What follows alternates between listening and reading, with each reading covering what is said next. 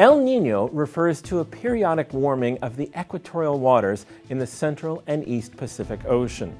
Translated from Spanish, the name literally means little boy.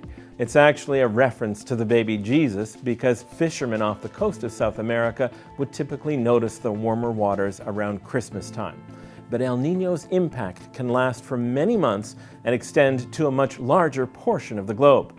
In March of 2015, scientists announced they were seeing signs of a weak El Nino, but as the year has progressed, it's been looking more like it could be the strongest since 1998, and that has important consequences for the weather.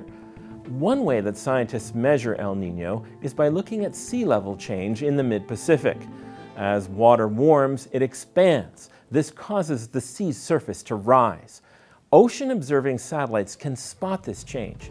Here, the satellite data show the change in sea level in the equatorial Pacific from January to July of this year. In some regions, the change is as much as half a meter.